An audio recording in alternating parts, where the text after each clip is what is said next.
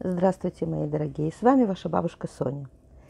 Э, когда на уроке мы разбираем какой-нибудь э, отрывок истории, э, вот на, на днях у меня было такое, я читаю людям небольшой кусочек из недельной главы, и я спросила, ну что, понятно? Мне люди говорят, все понятно. Я говорю, значит, вы не поняли ничего. Если вам понятно все, значит, вам ничего, значит, вы так ничего и не поняли. Э, естественно, что у людей после этого, скажем так, обостряются э, все чувства. И я говорю, сейчас я читаю кусочек еще раз, медленно. Представьте себе, что вы редактор, и вот у вас лежит э, текст, э, рукопись, и вам нужно увидеть, все ли в этой рукописи в порядке. Я говорю, как только вы видите какую-то несостыковку, сразу говорите стоп. И вот, когда я начала читать по второму разу этот же кусочек, сразу появилось четыре вопроса. Я говорю, очень хорошо. Я говорю, вот эти четыре вопроса, я говорю, мы запишем на доске. Я говорю, сейчас я читаю э, по третьему кругу. Я говорю, может быть, еще будут какие-то несостыковки. Э, после третьего прочтения, когда люди напрягли мозги и вышли из пассивно-сонного э, состояния, э, у нас набралось вопросов около десятка. Я вам сейчас скажу, по поводу какого а, кусочка Торы набралось около десятка вопросов. Э, мы с вами в сороковом году странствия по пустыне. Э, умирает Мирьям, исчезает вода. Народ ропщет и требует, э, требует воды.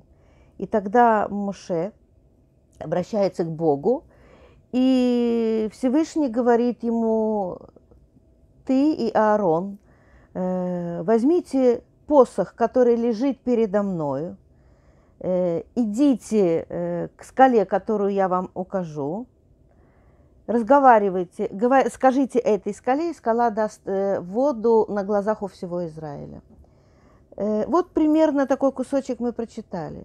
Значит, э, после того, как э, люди начинают роптать слишком, э, скажем так, слишком сильно, там чуть ли не начинают, начинается народный бунт, то Муше впервые, наверное, за 40 лет теряет самообладание, сердится на народ Израиля, и вместо того, чтобы говорить со скалой, он дважды ударил по ней посохом, и скала дает воду. Вот этот кусочек.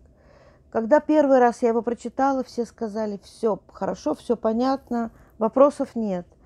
Э, после первого же прочтения появились такие вопросы. Во-первых, э, почему такое строгое наказание? Неужели за то, что Муше э, вместо того, чтобы говорить со скалой, он ее, скажем так, стукнул, неужели за это и Муше, и Аарон получают приговор не зайти в землю Израиля?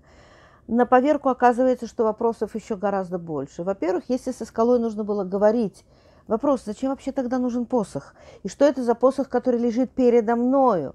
И в таком случае, зачем вообще тут нужен Аарон? Аарон в этой сцене практически как безмолвный свидетель.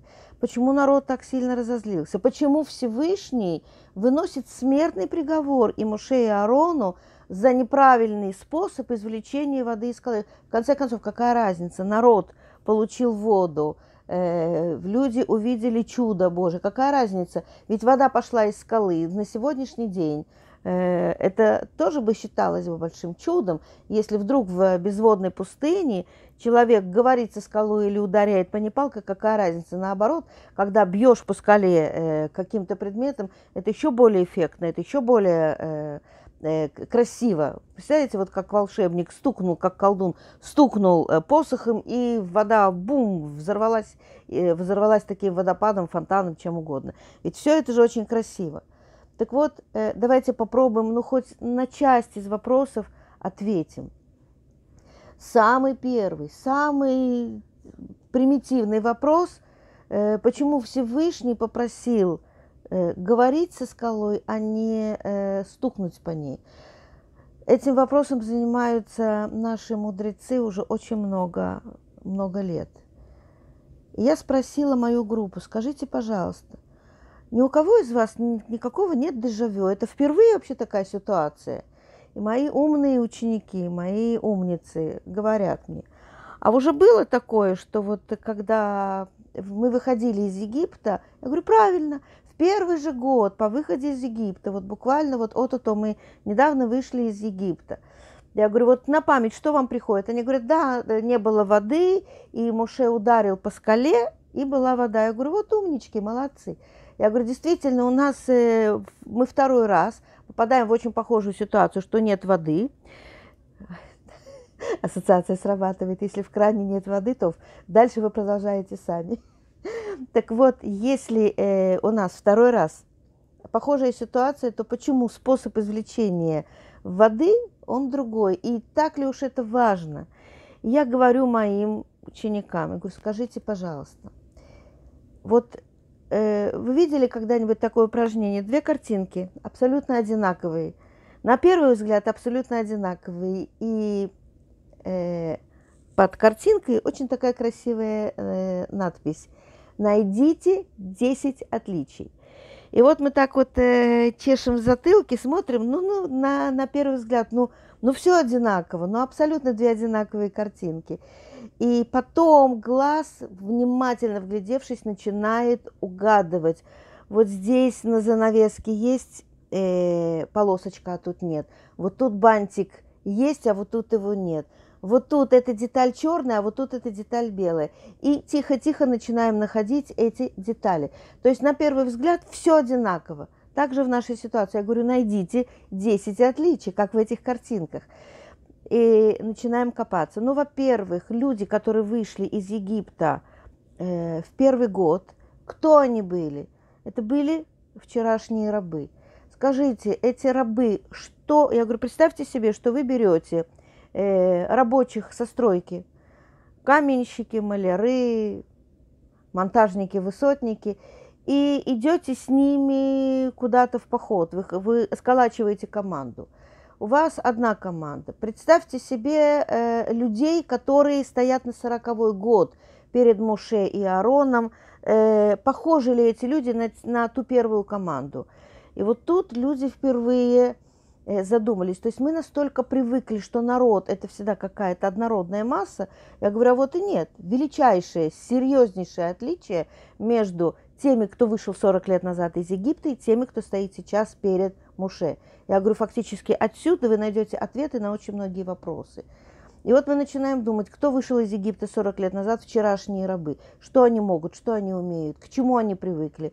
К палке они привыкли, это сто процентов, потому что если э, кто-то стоит и разговаривает рядом с еврейским рабом, то еврейский раб этого даже не воспринимает. Почему? Потому что он привык, что для того, чтобы э, от него что-то, скажем так, э, взять, его не просят, ему просто э, бьют либо сапогом, сапогом под ребра, либо палкой по спине, либо э, фингалом в глаз, но с рабами практически не разговаривали. Рабов били или на рабов орали. Так, чтобы нормально поговорить, с рабом такого не было. И поэтому вчерашние рабы, которые вышли из Египта, и если нужно у скалы попросить воду, то единственный язык, который понимает вчерашний раб, это удар. И когда ударили, вот это по-нашему, это понятно. Кто сегодня стоит перед Муше спустя 40 лет? Об этом люди не очень-то задумываются, потому что в главе Хукат мы находим себя спустя 39 лет. То есть предыдущая глава мы второй год, там, э, что мы находимся в пустыне, переворачиваем страничку, глава Хукат, оп, и мы уже на 39-м э, э, году, практически 40 год, нам уже нужно скоро вступать во владение обетованной землей. Ребят, за эти 40 лет, за эти 39 лет выросло целое поколение, по-моему, даже два. 40 лет – это даже не одно поколение. То есть все те, кто вышли из Египта, они умирают. И сейчас перед Моше стоят, стоят люди – которые не знают, что такое рабство, не помнят Египет, которые выросли, которые 40 лет, кто-то 30, кто-то 20, отучились в Ешиве, у которой руководителем был ни много ни мало Муше Рабейну. Представьте себе, что э, вас спрашивают, скажи, а кто у тебя, у тебя на свадьбе был э, диджей? Вы говорите, обижаешь. У меня был живой оркестр. э, не просто оркестр, у меня, скажем так, помимо простого оркестра, группы, у меня еще был симфонический оркестр. Вау, да ты что? А кто дирижировал? Сам Моцарт.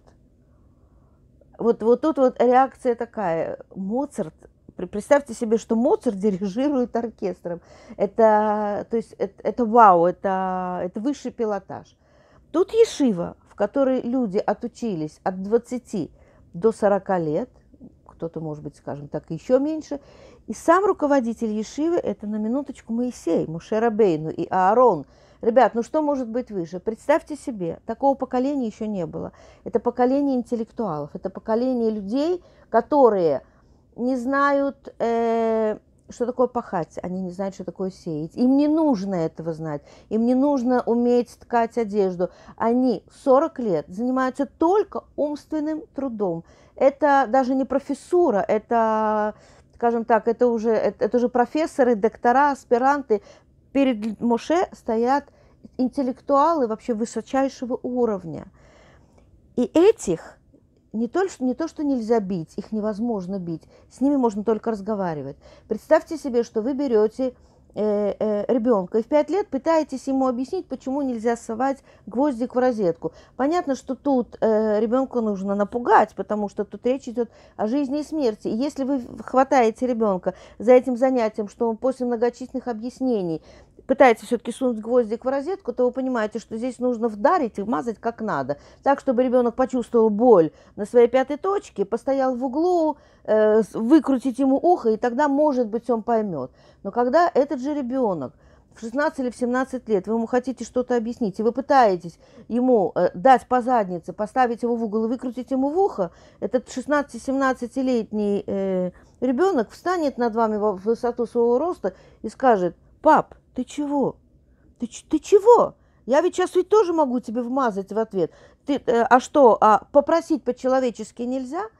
Вы понимаете, когда мы одни и те же методы употребляем по отношению к вчерашним рабам или к сегодняшним интеллектуалам, оно не работает. И когда Мушерабейну пытается э, решить вопрос, решить спор старым методом, который работал 40 лет назад, Всевышний сказал, ты не прошел этот экзамен выросло новое поколение, а ты пытаешься им управлять, как будто перед тобой стоят вчерашние безмолвные рабы. Так не пойдет. Ты не выдержал испытания.